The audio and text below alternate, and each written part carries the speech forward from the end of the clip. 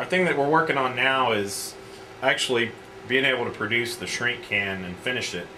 Um, what we're going to do is take our our shrink sleeve that we created on the machine on the with the C2 comp system, and we're going to trim it down and seam it.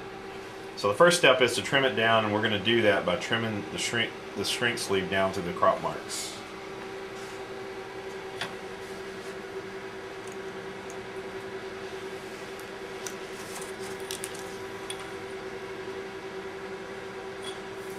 Another thing, when we're doing this, we actually leave a little bit of room at the top of area so we have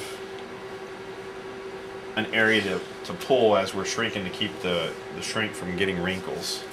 So as you can see, see at the top of this sleeve,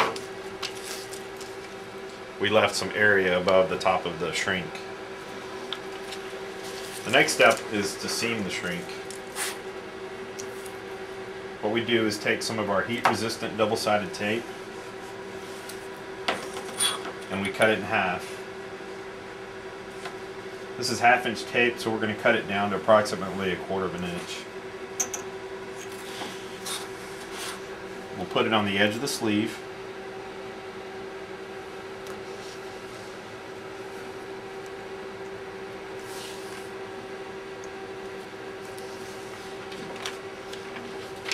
Turn it over, we'll flip it up, put the ruler over it to hold it flat so we can form our sleeve. We'll peel the double-sided tape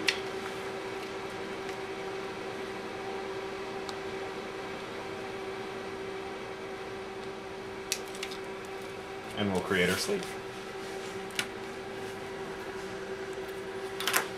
The next step is to open up the sleeve and slide it over the can. And we'll line it up towards just above the bottom of the can, like so. Before we actually shrink the can is we take the other half of the double-sided tape that we trimmed and we'll place it over the seam to protect it from splitting while we shrink it.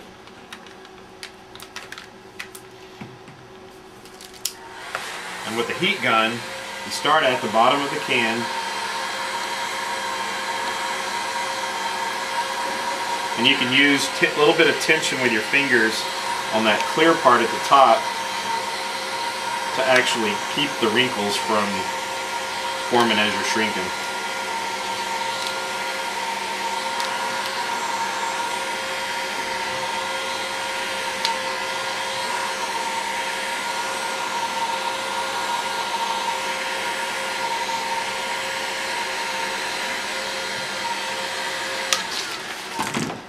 We'll take an X-Acto knife and trim the excess.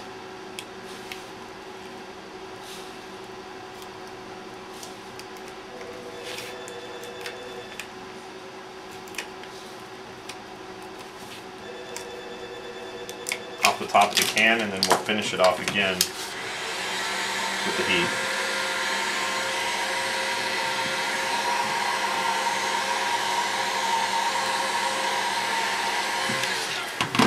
Pull that layer off. There's our shrink can.